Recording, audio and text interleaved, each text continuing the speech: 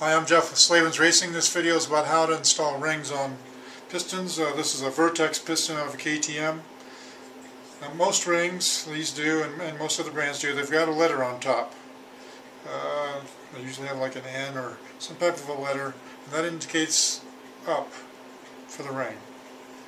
So people think that they need special tools or something to put these on, or they're afraid, they try to do it this method and spread them, and and they're afraid they're going to break them or whatever, but all you got to do is just kind of wind it in there. So these have got a pin, right here, a, locating pin that keeps the ring from rotating. On a two-stroke, the ring is not allowed to rotate or it will catch an important break. So you just start it where that pin is and stick the ring in, and then just feed it around.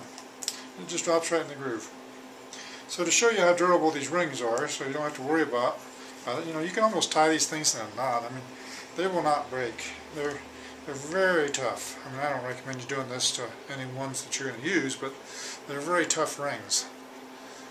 And so you do not have to worry about snapping them while you're installing them. Just start there and feed them in. That's all for now.